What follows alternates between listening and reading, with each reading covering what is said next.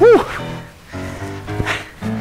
Sobra ako nilalamig kasi andito kami ngayon sa napakalamig na Baguio City. Welcome, welcome Magic Peeps. Andito tayo ngayon para maghanap ng ah, isang babaeng magaling umarte na pwede magpatibok ng aking leading man heart. We're gonna go to University of Baguio para maghanap ng isang ah, pang-FAMAS Best Actress sa kanyang uh, pinakamapagdamdaming role bilang aking bibigyan ng napaka-lupit na Magic Valentine's Shopping Spree. So kung sino siya, alamin natin. Let's go!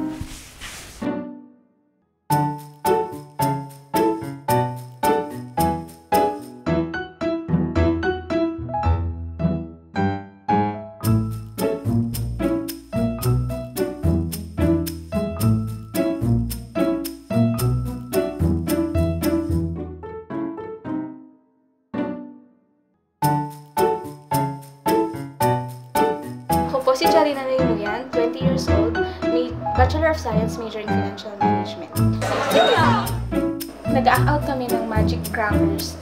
Ah, may biglang lumabas na mama na nakamask ng mukha si John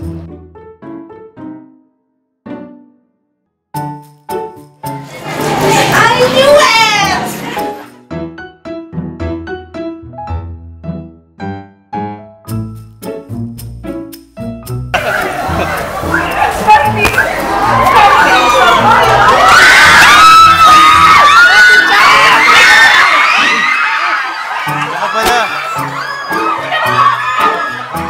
Tapos biglang lumabas si John Lloyd sa right side ko. Bigla niyang sinabi na, may bago na pala tayong best actress sa FAMAS. Kayo, kayo ang aming uh, FAMAS Best Actresses and Best Actors. Bigla akong sumaya. Nagulat ng sobrang gulat. For sure, sa makukuha mong premyo ngayon, sigurado ako, maraming guys dito sa UB ang magtatanong kung pwede kang makadate dahil, Sharina, meron kang Valentine shopping spree! Worth, mura lang yan ha, worth 50,000 lang naman ha. So, tignan ko kung matapos ang araw to na walang magtatanong kung pwede ka nilang maging date sa Valentine's Day. Oh, what can you say? Wala, thank you po. Thank you sa Magic Flix. Thank you po sa inyo. Sa mga organizers. Sa sa family. Thank you po. Ang bala ko pong gawin sa Magic Valentine Shopping Spree ay ilibre ang mama ko sa araw ng mga puso. Ang sarap palang magka-magic moment.